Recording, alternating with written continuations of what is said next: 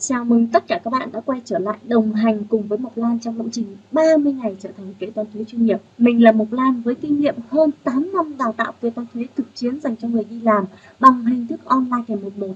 Thì hôm nay Mộc Lan ngồi ở đây với mong muốn là sẽ mang đến cho các bạn một lộ trình giải quyết các cái vấn đề về kế toán thuế tổng hợp thực tế dành cho người đi làm một cách ngắn gọn, đúc kết và hiệu quả nhất giúp cho những bạn nào dù là lần đầu được tiếp cận với quy trình làm kế toán thuế các bạn cũng sẽ hình dung ra được một cái lộ trình tổng thể, một cái bức tranh tổng thể trong quá trình làm kế toán thực tế khi đi làm. Để củng cố thêm niềm tin và tạo động lực cho những bạn nào là sinh viên năm cuối hoặc là các bạn kế toán nội bộ nhiều năm muốn chuyển sang ngành thuế nhưng mà còn lo ngại thì các bạn sẽ có thêm động lực và niềm tin để định hướng bản thân mình đi theo lĩnh vực về thuế. Và như Mộc Lan cũng đã nói rồi, nếu các bạn chịu quan sát một chút thì xung quanh các bạn, những người cùng ngành làm kế toán mà có thu nhập tốt, thường là những người đi theo con đường là về tư vấn kế toán thuế kế toán dịch vụ cho các doanh nghiệp. Và để tiếp nối cái bài học ngày hôm nay thì chúng ta sẽ đi đến cái nội dung của buổi học số 15 đó chính là hướng dẫn nhập hóa đơn thanh lý tài sản cố định.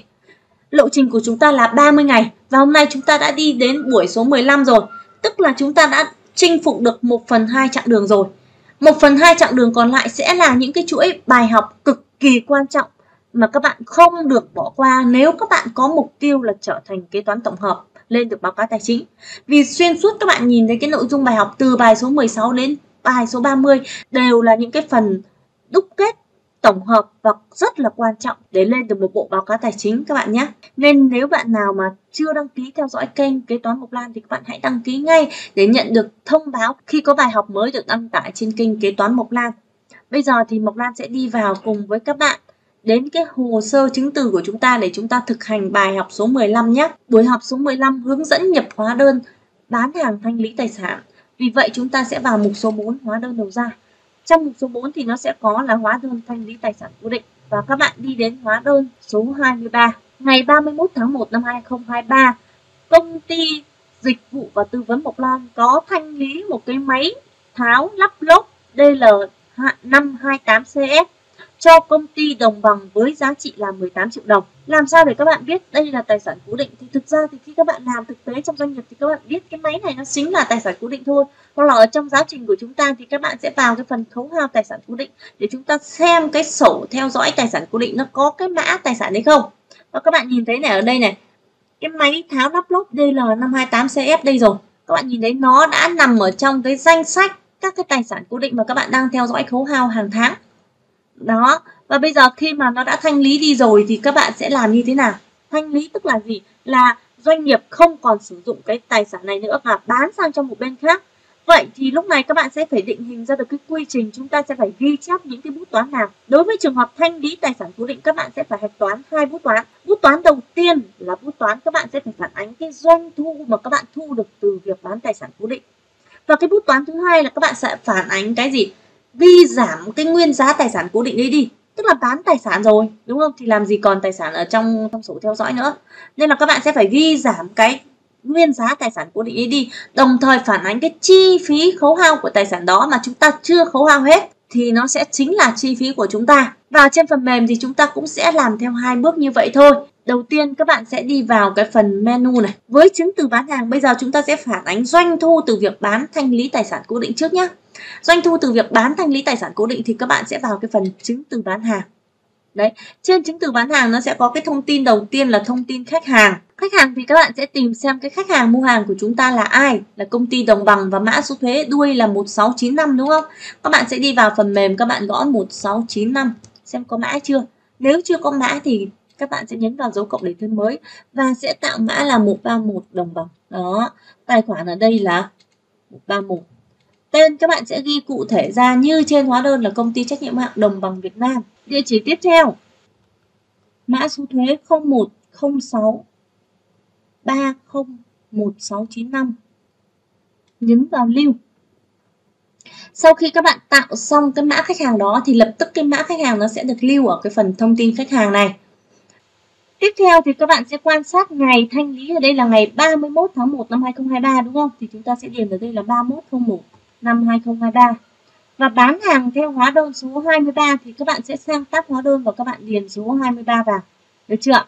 quay trở lại sang phần chứng từ ghi nợ ở đây các bạn sẽ xem này cái mục kiêm phiếu xuất kho này các bạn bỏ tích đi, bởi vì đây là tài sản cố định khi mua tài sản cố định về, chúng ta không có nhập kho, mà chúng ta chỉ theo dõi cái tài sản cố định đó ở sổ khấu hao tài sản cố định thôi. Nên là khi bán ra chúng ta cũng không kiêm phiếu xuất kho. Và cái mục thu tiền ngay ở đây, các bạn sẽ xem cái hóa đơn này giá trị là bao nhiêu. Thực tế thì khi đi làm, các bạn sẽ căn cứ vào thực tế doanh nghiệp của các bạn chuyển khoản hay là thanh toán bằng tiền mặt để các bạn ghi chép. Còn ở đây là trên cái phạm vi là nội dung chứng từ thực tế thì giả sử ở đây Mộc Lan ví dụ cho các bạn, hóa đơn này là dưới 20 triệu đồng. Thì khách hàng thanh toán bằng tiền mặt, vì vậy ở đây Mộc Lan sẽ tích vào thu tiền ngay. Được chưa ạ? Đó. Thế còn xuống dưới cái phần hàng tiền này, bây giờ đối với tài sản cố định thì các bạn sẽ phải tạo mã tài sản cố định đấy hãng vì trước đấy chúng ta có nhập kho đâu. Bây giờ các bạn sẽ vào thêm mới vật tư để các bạn tạo mã này. Mã vật tư, Mộc Lan ví dụ là tài sản cố định 002 cái này chúng ta nhập để nó có hạch toán được cái doanh thu thôi, chứ nó cũng không lưu vào sổ kho. Chính vì vậy thì ờ, ở cái phần này nội dung các bạn cũng không cần tiền cụ thể lắm đâu máy tháo lắp lốt DL528 đó Mộc Lan sẽ ghi này. Cái phần kho ngầm định các bạn chú ý điền là dịch vụ cho Mộc Lan nhé. Doanh thu chi phí bỏ qua, thuế suất thì các bạn điền là 10% bởi vì trên hóa đơn là thuế 10% và tài khoản thuế ở đây các bạn có thể điền hoặc không điền nhưng mà các bạn điền tài sản thì các bạn điền 1332 cũng được. Còn hàng hóa bình thường thì các bạn điền 1331 các bạn nhé. Và Mộc Lan sẽ nhấn vào lưu. Tại vì đây là chứng từ bán hàng nên cái thuế suất nó không phải là 1331 mà bán hàng thuế suất nó sẽ là 33311 cơ. Đúng không? Thế ở đây các bạn sẽ tích lại ở cái cái cái sau khi lưu xong thì các bạn click đúp chuột vào cái dòng màu xanh này nhá, để các bạn sửa lại này. Doanh thu ở đây các bạn sẽ cho vào tài khoản gì? Các bạn biết bán hàng thanh lý tài sản thì sẽ cho vào tài khoản nào? Sẽ cho vào tài khoản 711 bởi vì cái tài sản này nó không phải là doanh thu mà các bạn đăng ký kinh doanh buôn bán cái, cái mã tài sản này mà chúng ta là mua về để dùng nhưng không dùng nữa thì bán đi thôi. Chính vì vậy doanh thu sẽ không đưa vào các cái đầu năm mà các bạn sẽ đưa vào tài khoản 711 thu nhập khác. Các còn số lượng ở đây các bạn sẽ điền là một nhé và thành tiền là 18 triệu trước thuế thì các bạn sẽ điền 18 triệu trước thuế. Đối với tài khoản nợ ở đây các bạn sẽ điền là 111 trong trường hợp là thu bằng tiền ngay. Và sau đó thì Mộc Lan sẽ nhấn vào OK được chưa các bạn? Các bạn xem, tắt thuế suất xem tiền thuế suất đã khớp chưa này? Đấy, kiểm tra cái tiền hàng trước thuế, tiền thuế và tổng tiền thanh toán đã khớp với nội dung ở trên hóa đơn chưa? Nếu mà đã khớp rồi thì lúc này chúng ta chỉ cần nhấn lưu mà thôi. Lưu. Lưu và sau khi lưu xong thì các bạn xem dữ liệu nó chạy vào nhập liệu chi tiết như nào. Nó sẽ hạch toán vào cái tài khoản 711 và tài khoản thuế giá trị gia tăng đầu ra. Thì bây giờ chúng ta có thể lên cái phụ lục bán ra. Các bạn nhìn xem này nó đã lên cái cái cái, cái hóa đơn bán thanh lý cho cái công ty đồng bằng đây rồi. Nếu mà cái cái vùng này nó, dữ liệu nó chật nó không hết thì các bạn có thể vào PTL và tích vào cái view này để nó hiển thị dòng và cột. Sau đó các bạn có thể kéo rộng cái cái cái dòng này ra để các bạn nhìn đủ dữ liệu thông tin. Được chưa? Thế và sau đó thì các bạn có thể vào bảng cân đối tài khoản này. Đấy tất cả sau khi các bạn nhập liệu tất cả các cái dữ liệu trên hóa đơn xong thì các bạn cần phải vào cái bảng này để xem dữ liệu nó đã chạy lên chưa nếu mà dữ liệu lên rồi thì tức là các bạn hạch toán đúng, mà nếu mà dữ liệu chưa lên thì là hạch toán sai, nhưng nó chưa lên đủ. Nợ có luôn luôn là phải bằng nhau như này, và các bạn nhìn thấy 711 nó đã lên rồi đây này.